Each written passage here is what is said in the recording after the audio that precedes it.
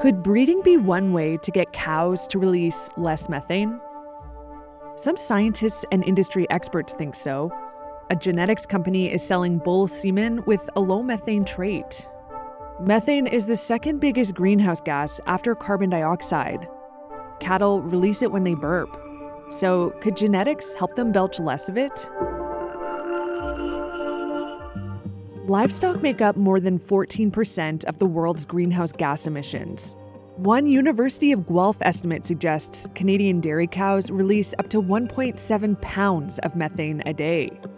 To cope, New Zealand, for one, will start taxing farmers for cattle methane in 2025. In Canada, the low methane breeding material is a product of genetics company Semex, the country's milk recording agency, and is based on research by Canadian scientists. Semex says using the trait could bring down methane emissions from Canada's dairy herd by 1.5% annually, and that by 2050, that figure could jump as high as 30%. It says dairy farmers in Canada, Britain, the US, and Slovakia are trying it out.